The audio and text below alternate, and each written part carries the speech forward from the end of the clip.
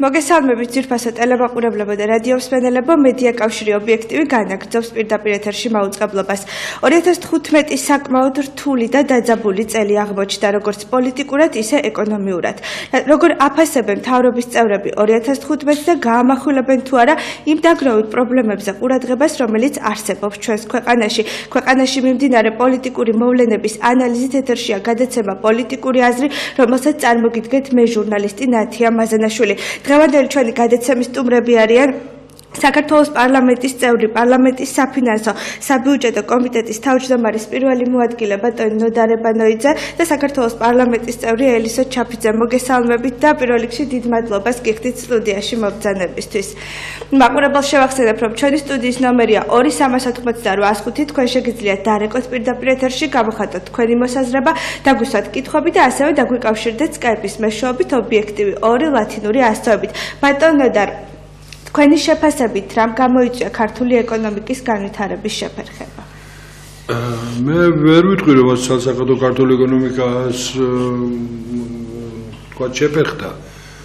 თუმცა ზოგადად ძალიან ესე იგი სერიოზული გამოწვევები დადგა 2015 წელს, 2014 წლის მეორე ნახევარშიც, რაც კერძოდ აისახა ჩვენს უმთავრეს პარტნიორებთან აშკარად გაუარესებული მდგომარეობით არ არის ახალი, მაგრამ გამემეორებ კიდე რუსეთ-უკრაინის ომი, გაღარებების პროცესი თურქეთში და ასევე თქვა ზოგადად კუშტაშორის ხოვებების სერიოზული თქვა პრობლემები, რამაც გარკვეულწილად ისეთ ეკონომიკას, როგორც ჩვენი ეკონომიკა, რომელიც არ არის ჯერ დიდი ეკონომიკა, მე ძალიან მნიშვნელოვანი დამოკიდებული გარე ფაქტორებზე და ამ ბუნებრივია ამის ყველაზე თქვა სერიოზული შედეგი არის სწორედ ექსპორტის შემცირება.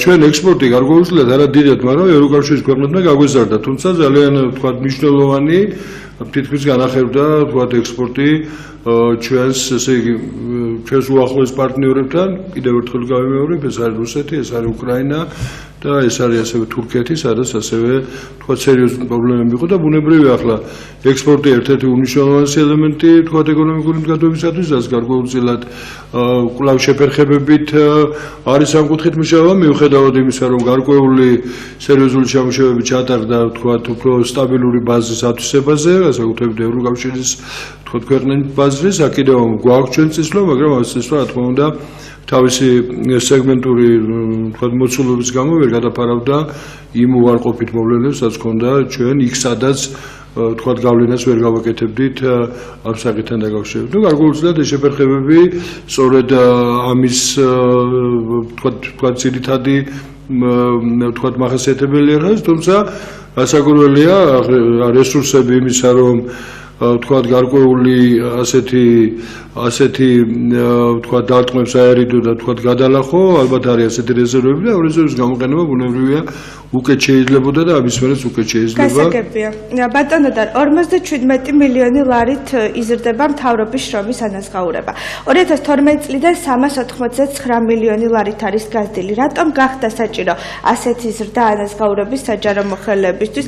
ხომ არ ფიქრობთ რომ ახლანდელი ხელისუფლების პირობებში მაღალჩინოსნები უფრო უკეთ ასრულებენ თავიანთ დაკისრებულ მოვალეობას? ჯერ დავაზუსტოთ ჩვენი ბიუჯეტში სახელმწიფო ხარჯები არის იზრდება, არსეთ თეთრით, არათუ არ იზრდება, არამედ მცირდება კიდეც. რაც შეეხება ხვადაღებულ 57 მილიონს. 57 მილიონი აა ეს არის აქედან 53 მილიონი გახლავთ საგანგებო სიტუაციების თქვა სამსახური, რომლებიც აქამდე იყო თვითმართველობის არეალში და თვითმართველობის თქვა უფლებამოსილებაში თქვა მომავალი წლიდან 2016 და 2015 წელს გადმოვიდა, თუმცა დაფინანსება დარჩა ადგილობრივ თვითმართველობებში. ამჟამად ეს 53 მილიონი უკვე დაემატა შინაგან საქმეთა სამინისტროს სტრუქტურული ერთეული გახდა და ბუნებრივია ეს ხარჯი დაემატა, სამაგიეროდ ეს ხარჯი გამოთავისუფლდა ადგილობრივ თვითმართველობებს, ისე სხვა იმართლებებით მიმართავენ. მეორე გახლავთ ასევე 19 მილიონი 19 მილიონი 200000 დავაზუსტებ. ეს გახლავთ ამ წელს საარჩევნო წელს CSGO-ში გაზრდილი CSGO-ს გაზრდილი ხარჯი რაც ყოველთვის ასეა. ამ დროს როდესაც დამატებით თანამშრომლების აყვანა სჭირდებათ საარჩევნო პერიოდში ასევე ფინანსდება თქვა პარტიების წარმომადგენლობები, სხვა დამატებითი თქვა არამუდმივი შტატები და ამ დროს ყოველთვის არის ხოლმე ამ თქვა მხოლოდ აი კიდე 57 მილიონი, აი ჯერ 53 მიმართო 19 62 მილიონია საერთო ჯამში თქვა სახელმწიფო ანაზღაურებები თქვათ იკლებს. რაც შეეხება თქვენ ახსენეთ 389 მილიონი, სხვა შორის ეს ციფრები ესეთი გახსოვთ თქვენ ეგეთი 456 მილიონი, რომელსაც ჩვენი ოპონენტები ახსენებენ ხოლმე 2012-დან 16 წლამდე ზდაში. ეთყობა თქვენ კიდევ უფრო დააზუსტეთ, იმიტომ რომ აქედან თვითმმართველობის სეგმენტი ამოიღეთ ეს ეს დაახლოებით ეს ციფრია. ახაც გახლავთ ესეც არაერთხელ ითქვა ამ ამ ციფრებიდან მაგალითად 110 მილიონი კიდე ცოტა მეტი გახლავთ თავდაცვის სამინისტროში თქვა ხარჯის მომატებული ანაზღაურები და ასე 80 მილიონი შინაგან საქმეთა სამინისტრო. აი აქაც აქაც განმარტავ აქ აქ არის გაზრდილი არა მაღალი ჩინოსნების არამედ საშუალოდ გაიზარდა ანაზღაურები მაგალითად თავდაცვის სამინისტროში 114 ლარიდან 1034 ლარამდე ასევე ასევე მოხდა შინაგან საქმეთა სამინისტროში საშუალო ხელფასების და არა და არა თქვათ მაღალი თქვათ რანგი ჩინოვნიკების და ამაში შედის სხვათა შორის 50 მილიონი კულტურის სამინისტროს გაზრდილი ხარჯი ამ პერიოდის განმავლობაში რომელიც გახლავთ აქამდე ესე იგი სიპები, საჯარო ზიუდული პირები, რომლებიც იყვნენ კულტურის სამინისტროს კონტროლის არეალში, ისინი როგორც სუბსიდიები არის აღერიცხებოდა, არ აღერიცხებოდა როგორც როგორც რა ქვია ხელფასები და 50 მილიონი მხოლოდ ამის ხელფასები ელემენტარულად. ეს უფრო გამჭვირვალე გახდა სუბსიდიები დაიშალა და თავისთავად ასახობო და ასეთი ხარჯები კიდევ არის 389 9 ესე იგი მილიონი და დაგჭებათ ხოლმე მაგალითად 22 მილიონით გაიზარდა ვთქვათ მოს სასამართლოს აქვე ხარჯები აქაც სწორედ რომ შრომის ანაზღაურებებს დამოხდა ესე სხვა სხვა ამიტომ ეს ციფრებში ზდა ნამდვილად არ გვაქვს ზდა არის რა თქმა უნდა ფიზიკურად როდესაც ნახავთ ვთქვათ შეადარებთ ერთმანეთს მაგრამ ამ ზის იგი სწორედ ეს არის სეგმენტები ეს არის ახლა ვერავინ ვერ იტყვის იმას რომ ეს ვთქვათ გავერის გავერის ხაბატონო ელისო არსებობს თუ არა პრემიების და დანამატების პრობლემა? აა კიდევაც არსებ პირველ რიგში მოგესალმებით. მინდა მივესალმო თქვენ სტუმარს ბატონ ნოდარს ასევე მივესალმო თქვენს მაყურებლებს პირველ რიგში რადიო მსმენელებს. მინდა ვისარგებლო შემთხვევით და ყველა მათგანს ვუსურვო გაცილებით კარგი 2016 წელი და ძალიან დიდი იმედებით. მინდა შევხვდეთ ამ წელს იმიტომ რომ პრინციპში საქართველოს დღეს ძალიან მნიშვნელოვან სტადიაზე იმყოფება თავისი განვითარებისა. იცით, თქვენ დასვით შეკითხვა, რამდენად გაართვა თავი საქართველოს ხელისუფლებამ 2015 წელს საგარეო თუ საშინაო გამოწვევებს და მე სანამ პრემიებზე დავიწყებდეთ საუბარს, უბრალოდ მინდა აღვნიშნო რამდენიმე ძალიან მნიშვნელოვანი ფაქტორი. ჯერ პირველ რიგში ხედავთ რა ხდება მთელს მსოფლიოში. ეს არის უდიდესი დაპირისპირების, მათ შორის სისხლის მღრელი დაპირისპირებების კერა უამრავ ადგილას. და ჩვენ მოვახერხეთ, რომ აი ძალიან რთულ გეოპოლიტიკურ ვითარებაში, როდესაც საქართველოს გეოსტრატეგიულ სივრცეში უზარმაზარი ინტერესები იკვეთება, რომ ვიყოთ მეტნაკლებად მშვიდობიანი დაბალანსებული, ესეთი გაწონასწორებული საზოგადოება და თუ არა შიდა პოლიტიკური კონფლიქტები დღეისათვის ვფიქრობ, რომ საკმაოდ კარგი სასტარტო პირობები გვაქვს გარე სამყაროსთან ურთიერთობისათვის, აღარ არის ეს აგრესიული რიტორიკა მეტნაკლებად აი მე არ ველოდები რაღაც ძიმე ურთიერთობას დღეს რომელიმე ქვეყანასთან და მადლობა ღმერთს რომ მათ შორის რუსეთთანაც კი ჩვენ გვაქვს ღია და დახურული სასაუბრო არხები და ყველაზე უფრო მცირე კი ბატონო გასაგებია რაღაცა ოკუპაცია. ეს ძალიან ტკივნეული თემაა და ყველა ქართველისთვის დარწმუნებული ვარ ნომერ პირველი ამოცანა მაგრამ ის რომ დღეს ჩვენ ფიზიკურად მაინც არ ველოდებით ისეთივე მოვლენებს რაც ხდება უკრაინაში რაც იყო საქართველოს საქართველოში 2008 წელს მე ვფიქრობ, რომ ხელისუფლების მიზანმიმართული საქმიანობის დამსახურება. გარდა ამისა, ჩვენ ნუ დავივიწყებთ, რომ ძალიან მალე რამ სულ რამდენიმე დღეში ალბათ ჩვენ გვექნება ინფორმაცია იმასთან დაკავშირებით, თუ როგორ გადაწყვეტილებას მიიღებს ევროკავშირის შესაბამისი კომიტეტი საქართველოსათვის უვიზო რეჟიმის დაწესებასთან დაკავშირებით საქართველოს და უკრაინის იწება ჩინეთთან თავისუფალი სავაჭრო ურთიერთობები, რაც ჩინური აზარი საქართველოსთვის ეს არის უზარმაზარი შესაძლებლობები და გამოწვევაც სხვათა შორის. ჩვენ რამდენად მზად ვართ იმისათვის რომ ერთის მხრივ მიუხედავად აი უზარმაზარი ინვესტიციებისა რომელიც ქართულ ეკონომიკას ჩაიდება მათ შორის ტყიბულშიც ხო ჩვენ უნდა გქონდეს ანალოგიურად იგივე მაღალი ხარისხის პროდუქცია რომელსაც შევთავაზებთ ჩვენს პარტნიორებს და როდესაც ეს სივრცე იხსნება არის შენთვის შესაძლებლობა რომ ქვეყანა ეკონომიკურად წინ წავიდეს და განვითარდეს.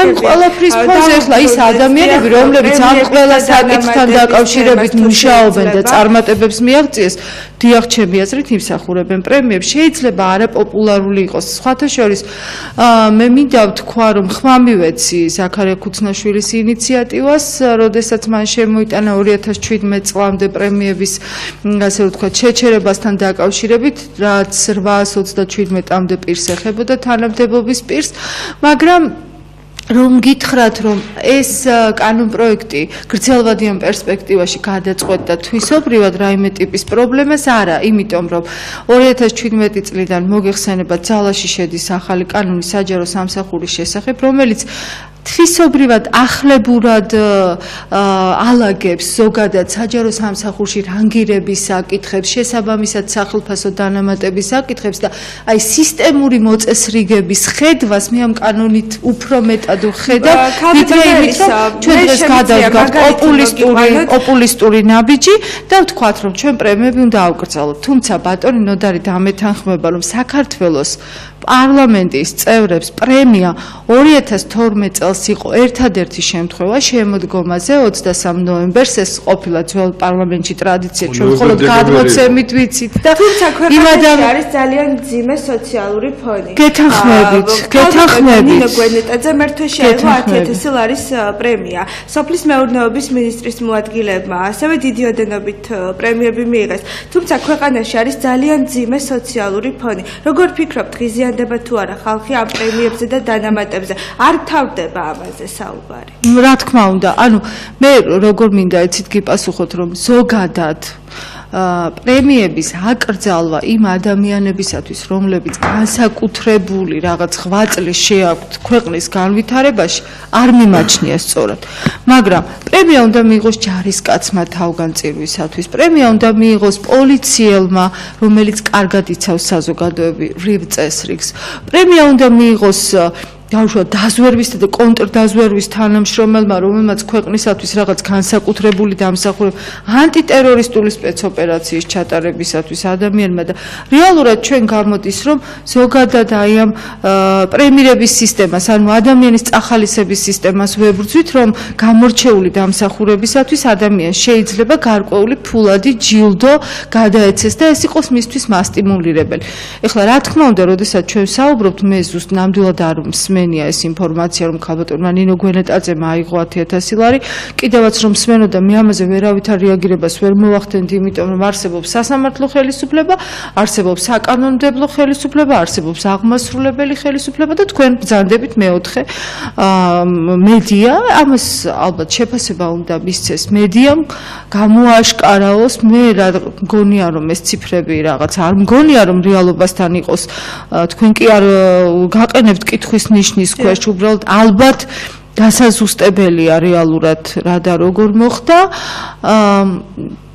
ზოგადად აი როგორ გითხრათ ახლა მე არ მინდა არავის ესეთი გულის მოგება ვამბობ კიდევ ერთხელ ვიმეორებ პრემირების სისტემა უნდა არსებობდეს მაგრამ გააჩნია ამას ვინ როგორ გამოიყენებს თავისი მორალის მიხედვით ჩვენ ვიცით რომ 2012 წლის ბოლოს პარლამენტის თავმჯდომარემ გამოსცა განკარგულება და საქართველოს პარლამენტში ის თანამშრომლები რომლებიც აპარატის თანამშრომლებს გულისხმობ დაუშვათ მართლაც ღამეებს ათენებენ კანონპროექტზე მუშაობაში. მათ მიმართ ხდება ალბათ კომიტეტის თავმჯდომარის გადაწყვეტილებით გარკვეული წახალისების სისტემის გამოყენება. პარლამენტის წევრებს შემიძლია გითხრათ სრული პასუხისმგებლობით. მე მგონი ჩვენ ყველაზე უფრო დაჩაგრული ხელისუფლება ვართ ამ კუთხით აა, ესეთი განებივრებულები არა ვართ. ეს იმას არ ნიშნავს, რომ აა ნამდვილად გეთანხმებით იმაში, რომ ძიმე სოციალური მდგომარეობა განსაკუთრებით არის ბევრი აა, რაიონის სოფელი მე ხშირად ხვდები ტყიბულის რაიონის მოსახლეობას, როგორც მათი მაჟორიტარი დეპუტატი და მართლაც გაოცებული ვარ იმ გაოცებული რა უფრო გულნატკენი იმ ძიმე სოციალურ ეკონომიკური მდგომარეობით რომელიც განსაკუთრებით იმერეთის გურის ანუ მცირე მოსავლიან ადგილებზეა. მოსა- მაგრამ აი ამ საკითხებსაც სჭირდება სისტემური გადაჭრა სჭირდება დასაქმების ადგილების შექმნა. სწორედ ამიტომ თავრობა ა, იწყებს გაზაფხულიდან ტყიბულის რაიონში თბოელექტროსადგურის მშენებლობას ა, რაღაც სოფლის მეურნეობის საწარმოს გახსნა სხვა ადგილას რომ ჩვენ სიღარიბეს ვებრძოლოთ არა იმით რომ ცუდი სახელმწიფო აპარატი გვყავდეს სადაც ადამიანები არ არიან გამორჩეული რომელთაც შეიძლება გარკვეული ფულადი სტიმულირება გაუკეთო იმის გამო რომ მან რაღაც კარგი საქციელი ჩაიდინა ქვეყნისათვის, სახელმწიფოსთვის, ბევრი იშრომა, კარგი საქმე გააკეთა.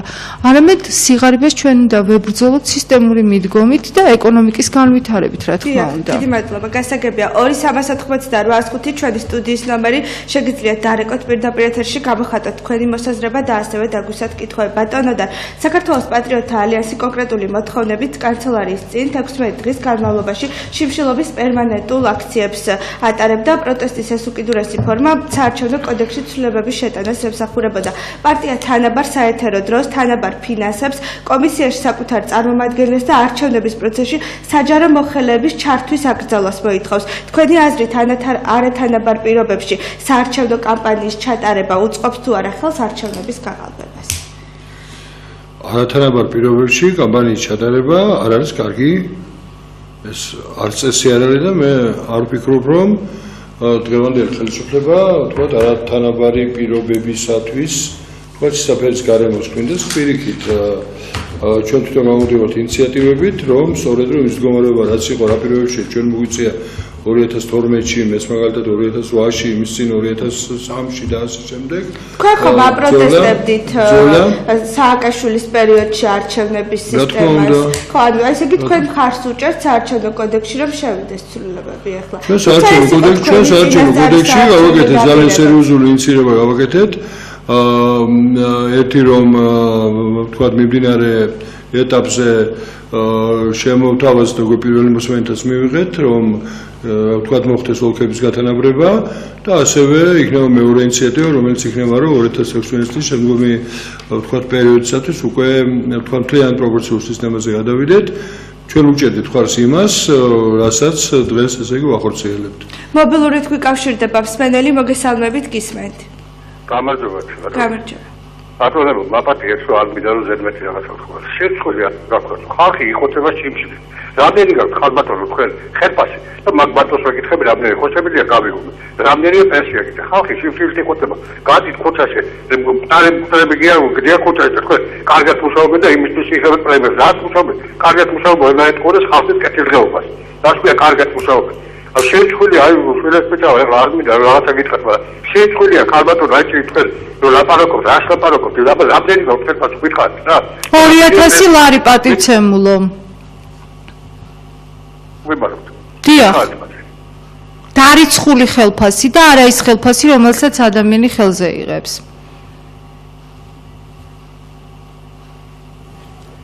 სამწუხაროდ გაითიშა ზარი განვაგრძობ მეთებას ბატონო და თქვენი მოსაზრება მინდა მოვისმინო ადმინისტრაციულ რესურსის გამოყენებასთან დაკავშირებით. სოფლის გამგებლები მუნიციპალიტეტის გამგებლის წარმომადგენლები გარემოს დაცვის სატყეო დეპარტამენტის თანამშრომლები.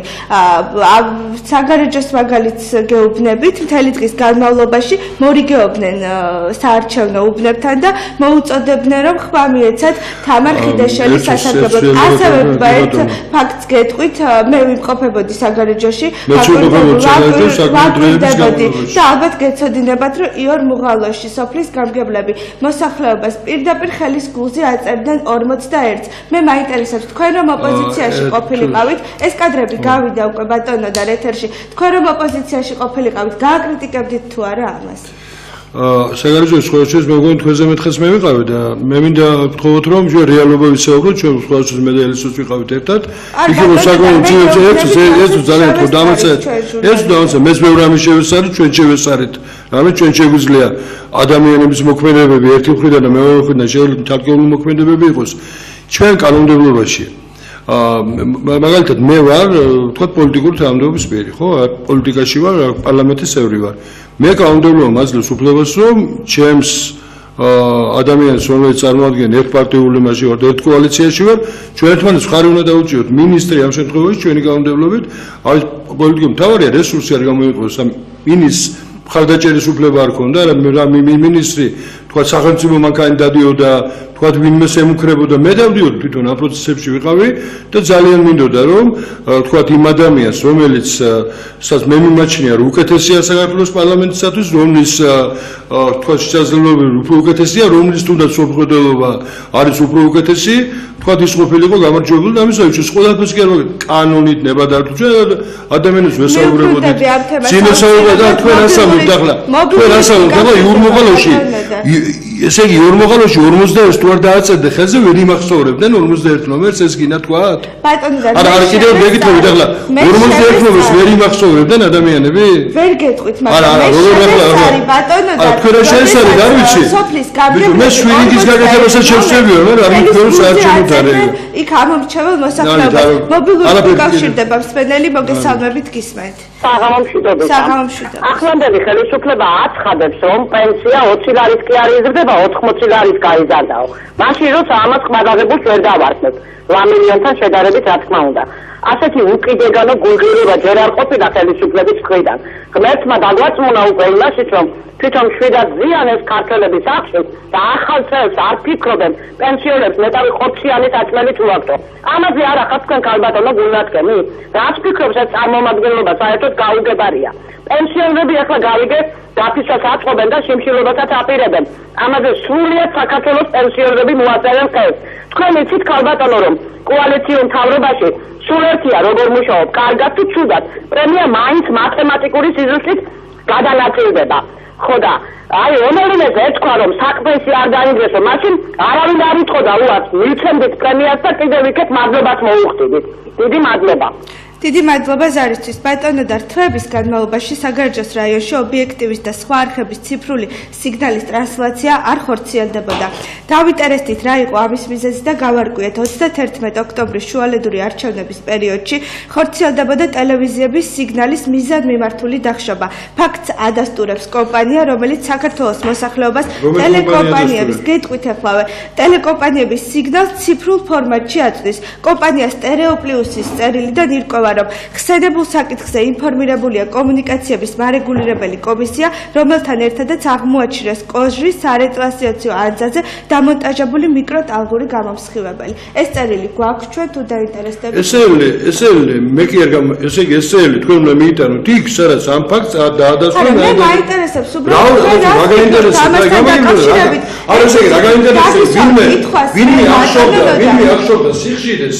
მე დავიცავ კითხვას ბატონოდან და თუ შეიძლება მიპასუხეთ. ამასთან დაკავშირებით საქართველოს პატრიოტთა ალიანსის გენერალურმა მდივანმა ირმა ინაშულმა გააკეთა განცხადება რომლის მიხედვითაც ცნობილი ხდება რომ თავდაცვის სამინისტრო კოჯრის ბაზიდან ობიექტივის სიგნალს საგარეჯოში ახშობდა. აი აქ მაინტერესებს უბრალოდ შემგორ ბატონო და საერთოდ ეხლა ეს ფაქტი ანუარსა დაადასტურა. ასე დროის ნომაგარგინებთ რა დროს ძალიან არასერიოზულია. ერთი თვის უკვე გავიგებს გავსი გაცხადება. ერთვეში აქ შეიძლება პროკურატურაში ამ ამასთან დაკავშირებით. რა თქმა უნდა, შეიძლება. თუ შედარებია მაშინ. ადექით გამოიყინოთ და არის იმ მოგმაღლა. უბრალოდ მე ვისვავთ კითხვას და თქვენი პოლიტიკური შეფასება მაინტერესებს ბატონო და. გაგცეთ ძალიან დაადასტურებელი სერიოზული შემეკითხეთ რა. რაც საქმეს ეხება შეახლებით, რაღაცას გაყავს მიყვებით, რომ რაღაც ტრანსლატორზე და აყენეს რაღაც. თუ რამებს გავსი ფაქტები გაქვთ ადექით და გადაეცეთ და მოკლევით მე რა უნდა გითხრათ გასაგებია ქალბატონოელისა გასაგებია ბატონოელისა სიხში ქალბატონოელისა მე მინდა თქვენ კითხოთ რამდენად მიზანშეწონილი და მართებული იყო ჯარისკაცების იმ კონკრეტულ უბაზე ხმის მიცემა რომლებიც არ იყვნენ საგარეჯოს რაიონში რეგისტრირებული მე მაშინ მინდა გკითხოთ რომ ყველა არჩევნები რომელიც წინა პერიოდში ტარდებოდა და სამწუხაროდ ადამიანები ხმებს აძლევდნენ სწორედ აი ამ პრინციპით ჯარისკაცები იმ ადგილას სადაც ისინი იყვნენ დისლოცირებული. ჩვენ ძალიან ბევრ რეგიონში წავაგეთ არჩევნები სწორედ იმის გამო რომ მაგალითად იმავე თერჯოლაში სადაც იყო ძალიან სერიოზული საპროტესტო განწყობა და ძალიან დიდი მხარდაჭერა აი გაცილებით დიდი ვიდრე მაგალითად ტყიბულის რაიონში ქართული ოცნების მიმართ. სწორედ იმიტომ, რომ იქ იყო დისლოცირებული თან ახალი შეყვანილი ერთი თვის 900 ჯარისკაცი, რომელთაც ხმა მისცეს და აღმოჩნდა, რომ 900-ე რატომღაც იყო ხელისუფლების მომხრე. მე ზოგადად პრინციპი არ მომწონს. ხვდებით, დღევანდელი საარჩევნო კანონმდებლობის ფარგლებში ის რაც მოხდა, სრულიად ჯდება. ესეთი საარჩევნო კანონმდებლობა გქონდა ჩვენ და პირველი მოსმენით განსხვავებული და უფრო სამართლიანი საარჩევნო კანონმდებლობა ჩვენ მივიღეთ პარასკევს პირველი მოსმენით, თუმცა ის არ არის ჯერ ძალაში შესული კანონი, რომელიც ბატონმა ზვიაძიძიგურმა წარმოადგინა საქართველოს პარლამენტში, ასევე შეიქმნა საკონსტიტუციო ცვლილებების განხილველი კომისია შესაბამისი დადგენილი გენილებით, რომელმაც ერთი თვის ვადაში მოსახლეობას უნდა გააცნოს ეს გარკვეული ცვლილებები, რაც უნდა შევიდეს კონსტიტუციაში და შემდეგ ვნახოთ იქნება თუ არა ესეთი ფართო მხარდაჭერა. ანუ ჩვენ პრობლემებს უნდა მიუდგეთ არა ისე რომ ერთჯერადად რომელიმე რაიონის მაგალითი, არამედ სისტემურად მოვაწესრიგო და მე მოვისმინე თავდაცვის მინისტრის განცხადება იმასთან დაკავშირებით, რომ სპეცუბნების პრაქტიკა მასშიც იწევს ძალიან დიდ დისკომფორტს და არასამართლიანობის განცდას ზოგადად დამკვიდრებული პრაქტიკა და ეს გაგიზიანება და აგრესია გამოიწვია იმან ქალბატონოელისა, რომ თავდაცვის მინისტრი პირადად თვითონ იყო მოდით თავდაცვის მინისტრი იმყოფებოდა იქ როგორც პოლიტიკური თანამდებობის პირი და მას აქვს სრული უფლება არ მალე სამუშაო საათებში დაუჭიროს მხარი საკუთარი პოლიტიკური გუნდის წევრს. მით უმეტეს ქალბატონი თინა ხიდაშელი იყო საგარეჯოს რაიონის მაჟორიტარი დეპუტატი და რა თქმა უნდა მისთვის ძალიან მნიშვნელოვანი იყო თუ ვინ გააგრძელებდა მის მიერ დაწყებულ საქმეებს. ასევე მე მინდა რომ თქვენს მაყურებელს რეკავს ზოგი ადამიანი, ზოგი აგრესიულია, ზოგი კეთილგანწყობილი, მესმის მე ამ ადამიანების განწყობა ძალიან კარგად მესმის. აა ქალბატონი თინა ხიდაშელის დამსახურება ის რომ დღეს არა მხოლოდ საგარეჯოში არამედ მთელი საქართველოს მასშტაბით ბავშვები საბავშვო ბაღებში დადიან და ეს ხარჯები აიღო და ტვირთი უზარმაზარი სახელმწიფომ საკუთარ თავზე. მაშინ როდესაც მე მქონდა საუბრები ადამიანებთან რომლებიც ლამის არის საჯარო ინფორმაციის გაცემაზეც კი თანხის დაწესებას აპირებთ. მოგესალმებით გისმენთ მოგესალმებით, გისმენთ ეთერში ბრძანდებით. ვესაუბრები გადამცემს? დიახ, დიახ, ეთერში ბრძანდებით. ქვესმის თქვენი ხმა უბრალოდ ცოტა ხმამა. შევახსენო, ჩემ გადამცემს. დიახ. რომ ინგლისის დედოფალმა სამამულო ომის დროს, მეორე სამამულო ომის დროს არაანთებინა თავის შენობაში გათბობის ისე ბუხარი. იმის გამო რომ ხალხს არ ახონდა შესაძლებლობა რომ აერთოთ თავიანთი ბუხრები. ეს ერთი ამბავი. ეხლა მეორე ვიზებთან დაკავშირებით. ვიზებთან, ვიზები ვისაინტერეს, ვისაც ბევრი ფული აქვს ნაშოვნი. როგორც ნამუსიანად ასე უნამუსოთ. ისინი ხოლოდ დიდროს დასჭირდება, ვიზო წასვლა და თუ ვიღაცა გაჭირებულმა ფული ისეცხა და წავიდა საზღვარგარეთ, ის იქ დარჩება რომ როგორმე მშიერი არ მოკვდეს საქმე ჩამოვიდეს უკან. მე მესამე ამბავი კადრებთან დაკავშირებით, ხელფასთან დაკავშირებით. თუ პატიოსანი ხალხი დადგება სამსახურის პოსტებზე, საჯარო სამსახურის უფროსობა, თქვა მინისტრები 500-ზე მეტი რატო უნდა ქონდეს მინისტრი? ჩემზე უკეთეს 62 წლის სტაჟი მაქვს მუშაობის. და 150-160 წელს ვიღებ. თვეში 100 ლარის წამალი გჭირდება ოჯახში. ასე უნდა დანიშნონ პატიოსანი ხალხი ნამუსიანი პატრიოტი ხალხი და ისინი არ მოისხოვენ. 50000 ლარი მას გამაგირებსა და მე მაგენივე დამატებებს დიდი მადლობა ზარისთვის. ბატონო და თქვენ გააკეთეთ განცხადება, რომ პენსიები უნდა გაუზარდოთ მხოლოდ მათ, ვისაც ძალიან უჭირთ.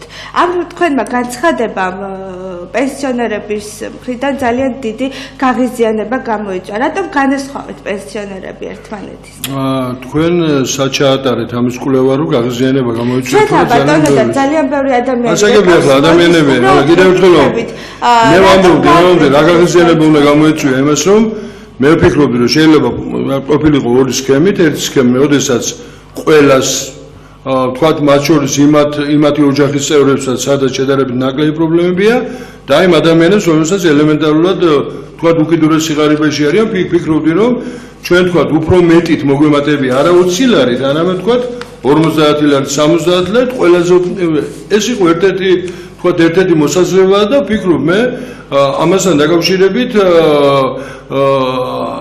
არავითარ პოლემიკაში არ ყოფილა და არავის არ უთქვია რომ ეს მოსაზრება აიმსახურებდა ყურადღებას, ვფიქრობ ეს იყო ერთ-ერთი ერთ-ერთი მოსაზრება, თუმცა ამ მოსაზრებას აქვს თავის პლუსები, აქვს თავის მინუსები. თქვათ იმ მოსაზრებას რომ ყველასთან მოხდეს სულება, აქვს თავის პლუსები, აქვს თავის მინუსები. სწორედ ასე ადამიანები და მინუსებს და გადააქვს მე ხარი დაუჭირა იმ ვარიანტს, რაც შემდეგ მოვილაპარაკეთ, რაც არ მოდგინავთ, რომ მოემატა ყველას. იმიტომ რომ ვიმუშავოთ ერთმანეთთან არგუმენტები გოცვალეთ, თუმცა არავის არ უთქვია რომ მაგალითად თქვა დავიღოთ აა ჩემი ოჯახის წევრი სადაც მე შედარებით თქვა მაგ ნორმალური ანაზღაურება არ ყავს პენსიონერი ოჯახი სამწუხაროდ აღარ არიან ამ ქვეყნად თქვა იქ რომ მომატებოდა არ მომატებოდა მასა მომატებოდა იქ სადაც თქვა უფრო მძიმე პირობა რა არის ამაში ვინ თქვა ვინ უნდა გაღიზიანებულიყო ამ შემთხვევაში გაღიზიანდებოდა ის პენსიონერი რომელსაც შედარებით უზრუნველყოფილი ოჯახი აქვს რომლის გაღიზიანება შეობდა მე ვფიქრობ, რომ ამაში გასაღიზიანებელი არაფერი იყო. მე მოსაზრება გამოვთქვი, რომ უჭერმეთ ეს არ არის ჩემგან მოგონილი რაღაც. ყველაზე თვალში შაშარო შემოვიდა ბიუჯეტ დაპირ 2015-ის იყო თავდაპირველი ვარიანტში სადაც შემოვიდოდა ბიუჯეტი რომ ხوار გავაკეთებია ყველაზე უფრო გზნობიარე ჯგუფებისათვის არაზღაურების ვთქვათ კი არა მაგალითად დავიღოთ ახლა ჩვენ დღეს საყოველთაო ჯანდაცვაზე რა ვიცი ამ თემაზე ვილაპარაკებ თუ არა საყოველთაო ჯანდაცვა დღეს ყველა ადამიანს და ყველა ოჯახს შეუძლია ეს არის მათ შორის მეც და ელისომას რომელსაც გვაქვს განაზღაურება ახლა ის თქვათ რომ თქვათ ისე გავაკეთოთ. საკმაოდ სერიოზული თანხამიდის რის გამო ჩვენ შეიძლება მეტი ვერ ვზდით რა პენსიებს თუ გავაკეთებ თქვათ ამ სისტემის შემდგომ წლებში ისე რომ ყველაზე უფრო გზნობიარე ჯგუფებს შეეხოს აი მაგალითად ვინახა დაზღვეული ვარ მეც ვარ დაზღვეული არის არჩივარ თქვენს ხარ თუ არა. მე მაგალითად შემიძლია თქვა თქვა პარალელურად ვისარგებლო საყოველთაო დაზღვეული ძალიან მისგანგებელია მე საზღვები მაგრამ ამის უფლება მაქვს ახლა ის თუ ვიტყვი მე რომ თქვა და ჩემნაირ ადამიანს თუ შეეხება საყოველთაო და უფრო მეტი მიიღოს სხვა აბსოლუტურად იგივე დამოკიდებულება მაქვს ბატონო. გასაგებია Skype-ით გვიკავშირდება მსმენელი მოგესალმებით. სოციალურად დაუცვალ ადამიანს რომ უფრო მეტი საშუალება მისცე პენსიონერს ხომ ნამდვილად უკეთესია ვიდრე საყოველთაო. ჩვენ მაინც გარკვეული ჯგუფები გამოვყავით ხო? ხო, ომის ინვალიდებთან დაკავშირებით პენსიების მატება არის, თქვა ასე ჯგუფებთან რაც არის ომის ინვალიდები და უფრო მეტი მატება ვიდრე აა ვთქვათ მთლიანობაშია. ზოგადად პენსიაზე ერთი რამ ერთი რამ უნდა ვთქვა.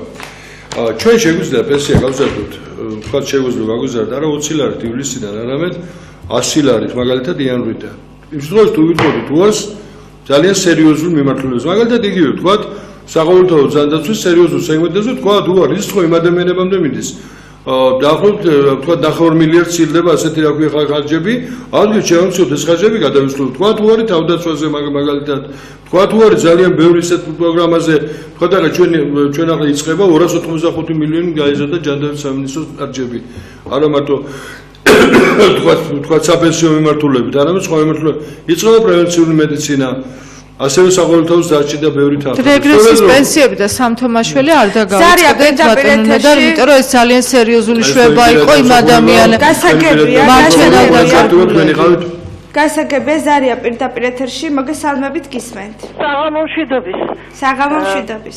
ქალბატონ ელისოსთან მაქვს ერთი კითხვა შეიძლება. ქალბატონო ელისო. ძალიან გთხოვთ მიპასუხოთ, რას მუშაობს ჩვენი პარლამენტი, ministrები ალო გისმენთ ხალბატონო გისმენთ რას მუშაობს ჩვენი პარლამენტი? Ministrები თუნდაც თქვენ თუნდაც ბატონი მან რომ ბრძანდება რომ საშუალო ხელფასი რაც გაქვს იმაზე მეტი რომ არ გინდათ რომ აიღოთ არც პრემია არ დანა არ ვიღებთ ხალბატონო არა როგორ დაგიმტკიცოთ სახელმწიფო ამონაწერს მოგიტანთ თუ გნება ნორმალურ ხელფასად რატომ არ გაითვალისწინებს დიდი მადლობა ზარისთვის. ქალბატონათი თუ მომცემთ საშუალებას, მოდით ამ თემაზე ამოვწურავ, იმიტომ რომ ჩვენ ისე გადავერთეთ პრემიების სისტემიდან საგარეჯოს არჩევნებზე, რომ მე რატომღაც წარმოვიდგინე, რომ საგარეჯოს არჩევნები უნდა განგვეხილა მთლიანად ამ გადაცემაში და ნება მომეცით, რომ ამ საკითხთან დაკავშირებით ჩემი აზრის გამოთქმა დავასრულო. ჩვენ რა თქმა უნდა გვესმის, რომ არის ძალიან მძიმე მდგომარეობა. ჩვენ რა თქმა უნდა ვხვდებით და სწორედ ამიტომ საქართველოს ბიუჯეტის 1/13 იხარჯება არა განათლებაზე, არა ინფრასტრუქტურაზე, არა ასე შემდეგ, არამედ სოციალურ პროგრამებზე, სოციალურ დახმარებებზე, ადგილობრივი თვითმართველობებიდან იხარჯება ძალიან დიდი თანხა და მე ნამდვილად ვხედავ, როგორც მაჟორიტარი დეპუტატი, რომელსაც ყოველდღიური შეხება მაქვს მოქალაქეებთან, რამდენი ადამიანის ჯანმრთელობის მდგომარეობა გადაარჩინეს სწორედ იმ ჯანდაცვის პროგრამ მოვაკლოთ ეს 285 მილიონი ჯანდაცვის პროგრამას იქნებს ჯობია რომ ადამიანს მართლა 500 ლარი ქონდეს პენსია როგორც ერთი ქობულეთში მაცხოვრებელი უკრაინელი მილიარდელი პირდება რაც ალბათ იტყვის შემდეგ რომ საქართველოს ბიუჯეტიდან უნდა გადაიხადონ ეს თანხა ხომ? ცოტა ესეთი უცნაურია მაგრამ შეიძლება ვიღაცამ ეს ესეც კი დაიჯეროს ვინმე ამ ბიუჯეტიდან უნდა გადავიხადოთ ჩვენ ეს სახსრები. ამ ბიუჯეტიდან უნდა დაფინანსდეს იმ გზების მშენებლობა. მე უბრალოდ გეტყვით, რომ მაგალითად მაღალმთიან რეგიონებში მაცხოვრებელ პენსიონერებს ეკნებათ არა 180 ლარი, არამედ 216 ლარი.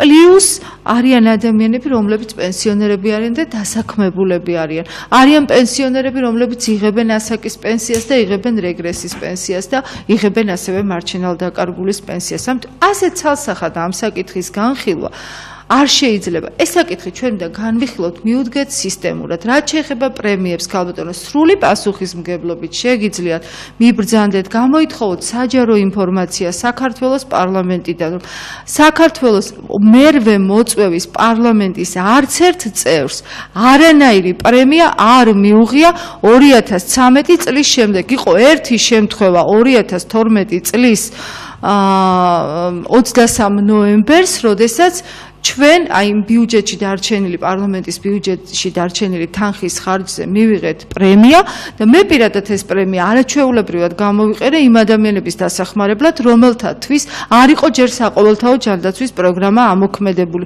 ნამდვილად არ მინდა ამ საკითხებთან დაკავშირებით საუბარი.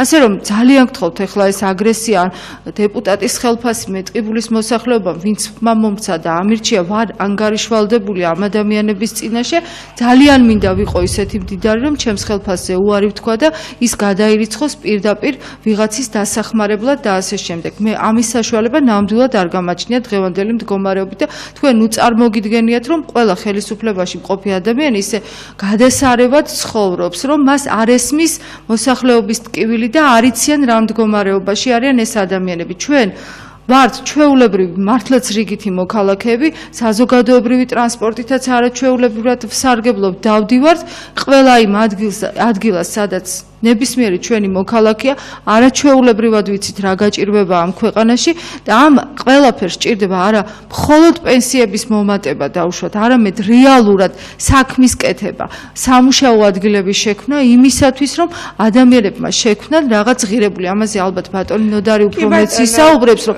გასაგებია. შეიძლება გაზარდო პენსია 500 ლარამდე, მაგრამ იმ პენსიას უნდა გქონდეს მსყიდველობითი უნარი.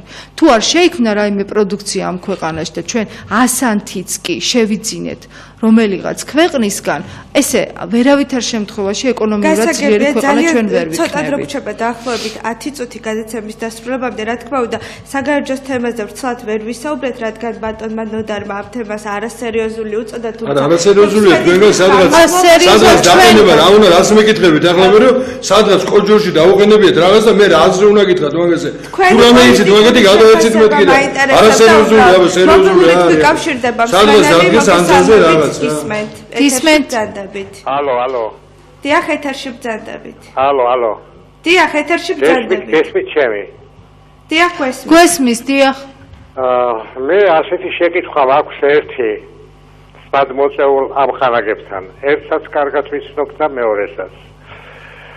აა როცა პენსიაზე დადგება ლაპარაკი და აქილევსის ქუდაც რჩება კუჩქუსას რჩება.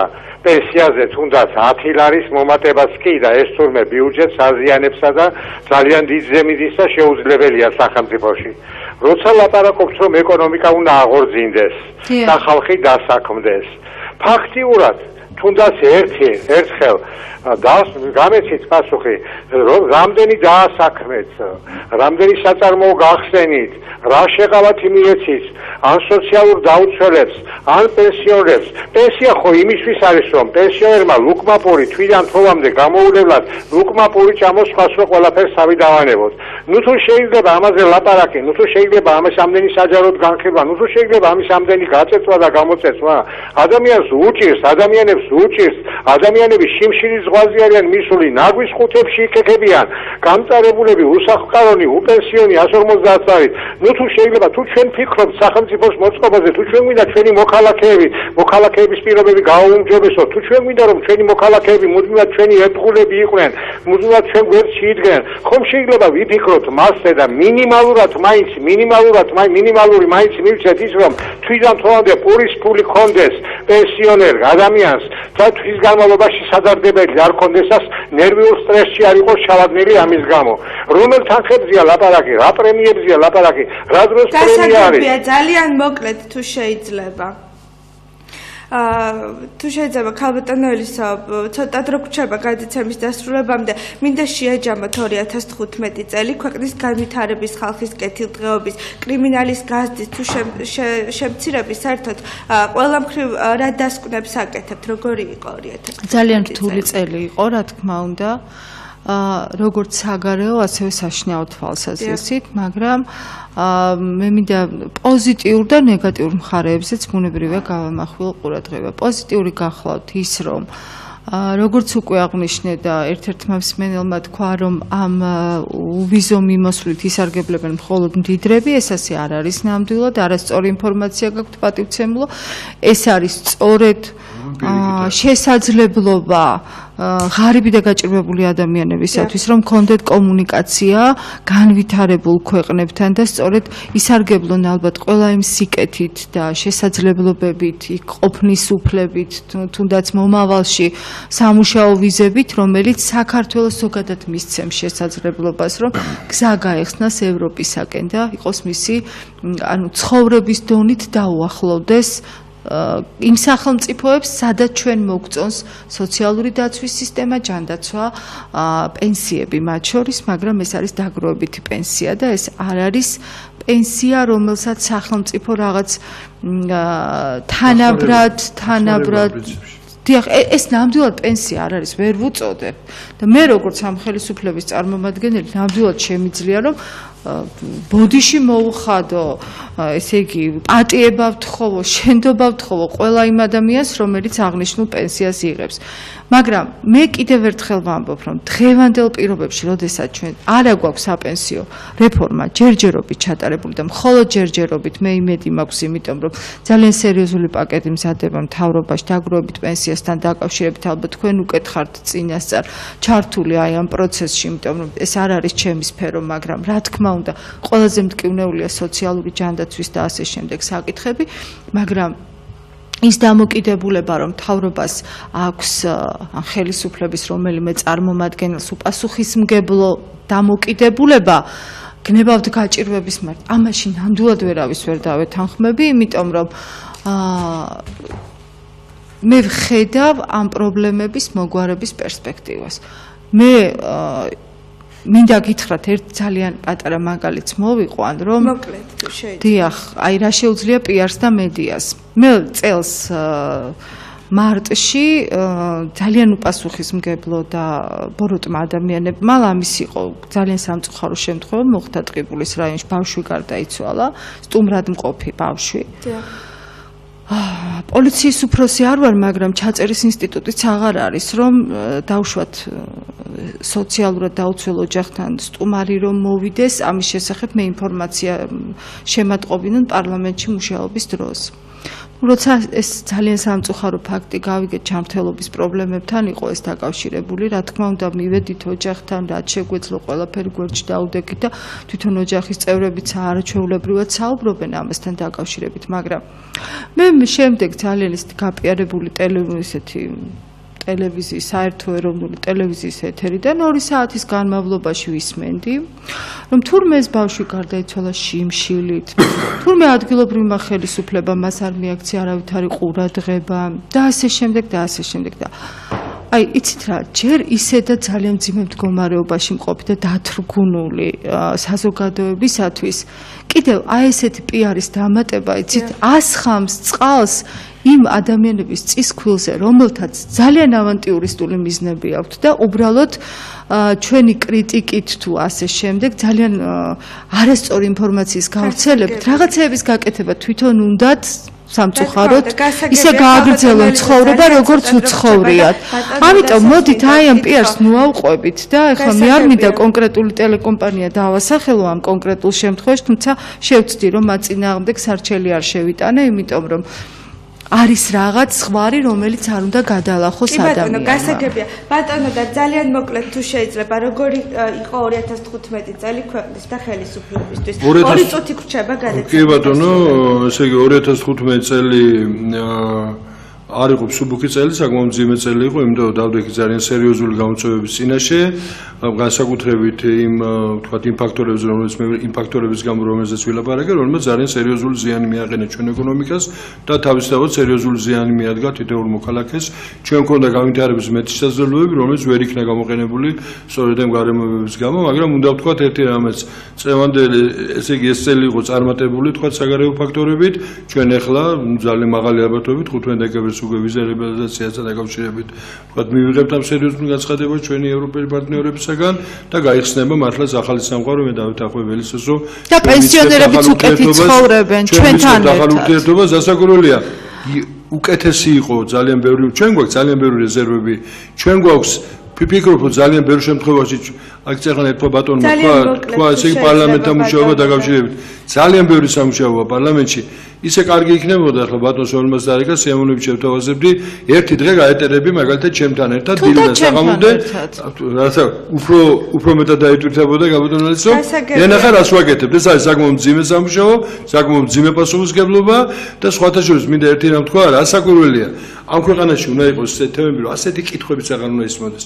ჩვენ ყველამ უნდა გავიჭირო ჩვენ ყველამ უნდა შევძლოთ ის რომ ამ მდგომარეობიდან გამოვიდეთ იმიტომ რომ სამ ეს მდგომარეობა იქნება ამ მდგომარეობაშია რა თქვა პარლამენტის წევრი იყავ და თუ გინ ჩათვალე რომ აღალი ანაზღაურება ყველა პარლამენტის წევრს ათხრობლები, ნათესავები, მეზობლები, მეგობრები ამ სამყაროში თუ ყველგან ძიმია საქმე, შენ კიდევაც ოქონდეს კარგად საქმე, მე მგონი ყველა ეს ცოტა ესეთი ადამიანი იქნება. გასაგებია სამწუხაროდ ჩვენი გადაცემის დრო ამოიწურა. დიდ მადლობას გიხდით სტუდიაში მობრძანებისთვის. დღევანდელი ჩვენი გადაცემის სტუმრები იყვნენ საქართველოს პარლამენტის წევრი, პარლამენტის საფინანსო საბიუჯეტო კომიტეტის თავმჯდომარის პირველი მოადგილე ნოდარებანოიძე და საქართველოს პარლამენტის წევრი ელისო ჩაფიძე. ეს გახდათ გადაცემა პოლიტიკური აზრი მე ჟურნალისტი ნათია მაზანაშვილი მუშაობდი თქვენთან. ერთი საათის განმავლობაში დარჩით ობიექტივზე თქვენ გელით საინტერესო სტუმრები საინტერესო თემებით. ნახვამდის